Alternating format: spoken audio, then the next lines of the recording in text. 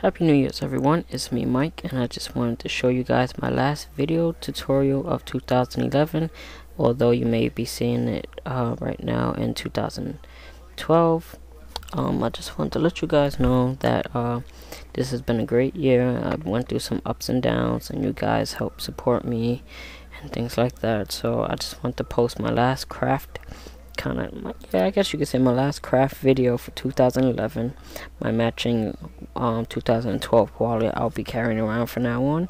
And as you guys saw a little sneak peek of my sketchbook I have in in the progress of being done. Um, and I'll be posting that up for sale uh, for my 2011 lineup of things you guys can probably purchase. And you know you may want to support me or whatever the case is. If not then you know whatever um, you may want to just have it for yourself. Um, so yeah so I hope you guys enjoy this video. This is gonna be like one of those speed um, sped up videos so you guys can kind of see. It's gonna be kind of fast but it's gonna be fun. So I hope you guys enjoy. Happy new year's. Peace